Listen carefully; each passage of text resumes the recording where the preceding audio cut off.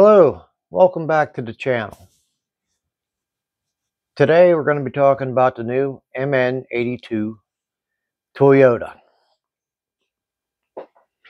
Uh, picked two of these up from Banggood for around $126 shipped. Took quite a while, probably about a month to get it. But I gotta say, it was well worth the wait. This body is fantastic.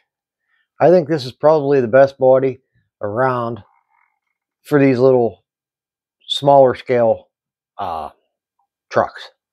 I mean, it is just, I mean, the detail on this truck is really, really fantastic. Unbelievable the body itself is worth the price of the truck. To be honest with you, I mean, you could do if you don't want to mess with the uh, the MN running gear. I'm sure you could do something with it. I mean, this is a really nice scale body. So I'm a I'm a sucker for these little trucks. I have a lot of everything, but I don't know what it is about these little ones. Uh, I think it's because maybe uh, they're not that great out of the box, and it's kind of fun to get them to actually perform well. Eh, I don't know. Anyhow, so this truck here is a giant leap forward from these first MND 90s. Even the newer one over here, the this here MN99, D99. I can't remember the name of it anyhow. It's a newer version of this. This was the first one of these that come out. This truck is just leaps and bounds over top of these. Now, uh, the electronics, no, they're not that great yet but they're a lot better than they used to be. And I mean, it's actually usable for a time period. This truck here, I've upgraded to the um, 30 amp uh, WPL ESCs. These will run 3S. This, here's a picture of it out of the package. Right here. These are nice little ESCs. I think they're about $12, $13, somewhere in that range. Uh, but they work really well. They have a uh, drag brake that you can enable or disable. There's a little, yeah, it's kind of like the uh, Hobbywing 1060s where you pull and switch the pin around. Well, it's it's right here. You have to uh, cut a little bit of the shrink wrap away to get to it, but this is where it's at. And you just move it over, and then you have drag brake or no drag brake. And it works really well. But that's the first thing I did to this truck after I ran a little bit just to see, you know, what it would be like. I put the uh, WPL 30 amp ESC in it. I run it on 3S because I wanted to see what was going to break. And so far, the only thing that, the only issue I've had with it is the dog bones. Now, you can look, I don't know if I'm going to be able to show it to you. No, I can't see it on this one. Oh yeah, right there. Know if you can see in there, see that little bit of uh, brass right there. That is the update that they've done for these dog bones. Now, I don't know whether they're not on right from the factory or what, but this is a newer MN model here too. It's the MN78 and it does not have the brass on the dog bone. But it's like a brass sleeve and this this is the original mn axles here they're plastic plastic dog bones. The newer dog bones on the MN78 and the MN82 have a metal pin to where this plastic is that goes through, which is much better. But the problem I had with the new MN82 was I'm running it on 3S and I'm running it through the rocks and I'm noticing that the left front wheel isn't turning. So I ended up, I took the whole front axle apart and that brass sleeve is mounted right here at the very end. And they have the shaft with flats on each end and the uh, the plastic dog bones that slide on they're actually keyed with a flat inside of them so they they should lock in place well this actually cracked so i took everything apart and i was able to get it off because it was cracked it just slid right off so I took and I put it in my vise this way. And I took a flathead screwdriver, a little small flathead screwdriver, and I pushed the brass bushing down as far as I could get it. And what that did was that that tightened everything up. So I did that on the other side as well. Hold on one second, please. So, okay, I'm back. I pushed the uh, brass sleeve down as far as I could get it on both sides. And then I reinstalled both dog bones back on, keyed to where there should be. And they are super, super tight now. They don't want to spin. The, the uh, cracked one, you can't move it it's it's really tight. Now, is this as good as uh, a metal axle from from WPL, uh, where everything uh, bolts together, and if you do it right with the Loctite, it it holds up very nicely? Probably not, but it's way far better than this was. Because this is just terrible. These pins would snap off these would just start spinning. This plastic gear would strip. It, it was just, and then not to mention the electronics in these early ones. I mean, you couldn't even get it to climb over a pebble. This actually, with the stock electronics, actually doesn't do too bad. It's got the high and low range, which is really not a high and low range. It's just two different speeds, and that's with the throttle rate button on here, right here, this button. It just gives you the two speeds. It really doesn't, you're not really getting low range. It has to do with gears, and that doesn't do anything with the gears. But this truck is so far, with the upgrades I've done to it so far, has been a lot of fun. It does amazingly well. Can't believe how well it does. So the next thing I've done to this is the wheels may look the same, but they're not. And these are WPL C34, C44 wheels with the WPL version 1 soft kit tires. Now this truck is very nose heavy. And I noticed that it would climb very well going uphill. But coming back downhill, it would just want to endo. Just there's no weight in the back. So what I ended up doing, I experimented a little bit. I put had weight in the front wheels and weight in the back wheels, and I'd weight just in the front. And what I found is with the weights in the back, foams in the front, it crawls really, really well and descends hills really well now. before it, if you would let off the throttle too soon and the drag brake would kick in, it would just boop, endo. Uh, now it just descends the hill nice and smooth, no problem. So another thing I want to talk about on these is I kind of thought, okay, when you get this, it's got leaf springs on it, and then it's got shocks and springs on the back. And I thought to myself, oh, why do I need these? Why, why, why should these be here? So I took them off.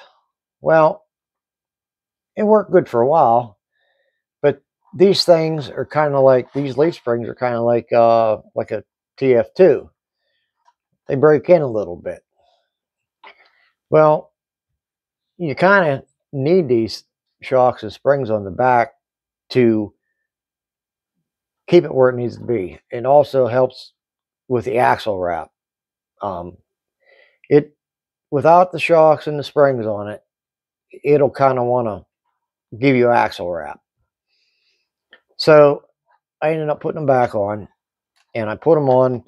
You know, uh, they have adjusters on them, as you can see in here. You know, it's kind of hard to see, but there's adjusters on them, like like a regular oil-filled threaded shock. Well, I had them all the way up at first, and I kept running it, running it, running it. So you actually have to keep winding these down until the the springs break into where they're going to be, and then it'll it'll work really well. So the next thing that's coming up for this truck is going to be I have metal gears for the transmission coming. Have metal drive shafts coming for it. And I do believe that that's the last two things I'm going to do to this truck for now. It's uh it's going to be a good trail truck. That's what it's going to be. It does pretty good in the rocks, but with the leaf springs, it doesn't do anywhere near as well as like a link truck would do. I mean, this thing, this WPL here I built, it just walks right through the rocks like there's nothing there. Now, the MN, it, it doesn't do bad. It does okay. And it does a lot better than it did when it was stock on the uh, the regular tires that come with it. These things are, are really hard really slippy, slippery, I should say, not slippy. That's a Pennsylvania thing, slippy. Anyhow, these tires look nice, but they don't work very well. Now, I bought two of these because when these when these first come out, there's usually no parts available. So I always try to buy two. Like when the MN78 come out, I bought a blue one and I bought a silver one. I got them both at the same time. That way, if something breaks on one of them, I got another one I can take the part off until I can order the part because you know it's going to take you probably three to four weeks to get the part you need from AliExpress or Banggood or eBay. And it takes a little while before Amazon starts getting stuff to where you can get it, you know, in a week. Now, when you open the box, you're going to get bag of parts. In here, you've got some lenses. Oh, that's by the way, that's another thing I did. Uh, usually, like the WPLs, they'll give you little decals for your for your lighting. Well, there's no decals for your lighting on this. They give you some stripes. That's all they give you. But uh, there's no there's no decals for the lights for the lenses. So what I did with this was, you can see, I used the uh, Tamiya transparent amber and red and painting these up. They come out pretty good like that. I even did the uh, marker light here on both sides. But you'll get, uh, get your snorkel, Get some more trim parts here. Mirrors. Tailgate handles. Uh, these are for behind the doors. And then you also get um, you get a Toyota emblem because this is fully licensed by Toyota, and then you get an MN emblem. So I don't know. I think most people are going to go for the Toyota emblem. I would think, anyhow. That's what comes in the box and the remote, which, you know, it'll get you by with the stock electronics. I changed mine over to uh, my FlySky for the yellow one. But as I move on, when I start working on the uh, the red one over there, I'm going to do a video of putting the ESC in and um, whatever else is going to happen to this truck is going to happen to that truck. Same exact thing. Metal gears in the transmission, uh, metal drive shafts, same tire and wheel combo, probably. Not not sure yet. It's regardless. It's going to have um, the weight in the back like this one does, foams in the front. I have another set of these tires, so I'm pretty sure I'm going to use the same tires. They work really well. Um, I think that's about it uh, for today for this for this video. Um, I'm going to do another video, hopefully tomorrow,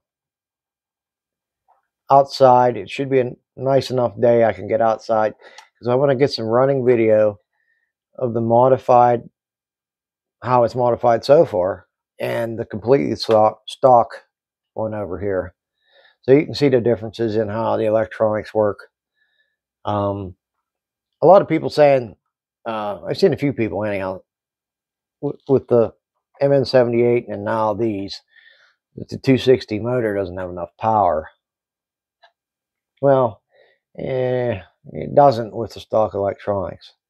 Now, with the um, 30 amp uh, 3S ESC in this, there's more than enough power for this truck with the smaller 260 motor in it.